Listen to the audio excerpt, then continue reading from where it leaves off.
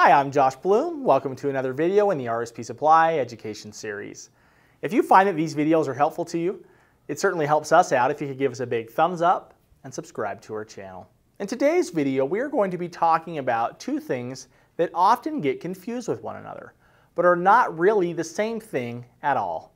I am talking about HMIs, or Human Machine Interface, and OITs, or an Operator Interface Terminal. For the purpose of today's video, we are going to briefly talk about what each of these two items are and why they are used. We will talk about scenarios where you might use one but not the other, and also discuss situations where both might need to be used at the same time. We hope that by the end of this video, your understanding of this topic has grown and we have eliminated any confusion you might have regarding HMIs and OITs. As always, the information shared in this video is intended to provide only a basic overview of this topic and should never take the place of proper electrical instruction.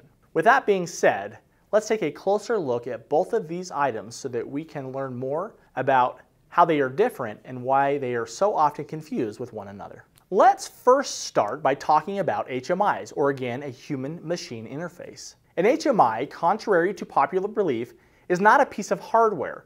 Rather, it is a software interface that allows people to interact with various pieces of electrical and control hardware and control systems. HMIs can vary greatly depending on the type of HMI that is used, but in almost all cases they are designed to perform the same function. That is to enable monitoring and control functionality to many different types of hardware that we need to interact with. With that being said, in order to view the information that is being provided by the HMI software, screens do need to be used. And this is where the confusion comes into play. Many people assume that the hardware that is being used to view the information is the actual HMI. For example, in an industrial control environment, electrical enclosures often have screens mounted to the outside of them. This screen allows for plant operators to access important information about critical processes that are occurring in that area. This screen can also give them the ability to make changes to the system on the fly, or in other words,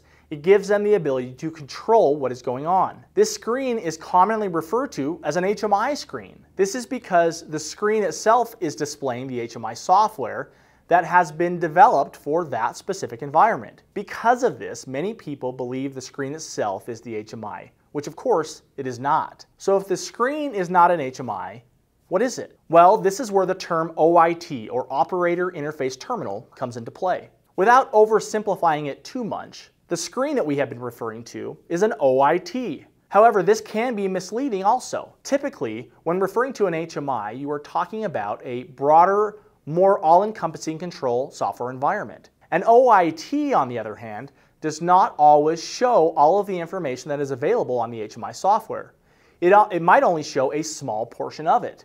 And in many cases, the OIT is not displaying the HMI software at all. It might only be displaying some basic information about whatever electrical hardware it is attached to. There are many situations where no HMI has been created. Instead, a local control monitoring display is provided. In this case, an OIT. This again provides only information about the hyper-local environment that it is interfacing with. In a sense, it is a type of HMI that is being created just for one piece of hardware. However, regardless of what is being displayed on the screen, it does help to know that the screen itself is not an HMI, it's an OIT. And while many times the OIT will display the HMI software, many times it does not. So now you can see why there is a lot of confusion surrounding this topic. What is helpful to remember is this. The HMI is a software environment that has been created to monitor and control a larger system in most cases. The OIT is simply a local screen that can display the HMI software or other pertinent information that it is connected to. For a full line of OITs as well as thousands of other products, please go to our website. For more information or other educational videos, go to rspsupply.com, the internet's top source for industrial hardware. Also, don't forget, like and subscribe.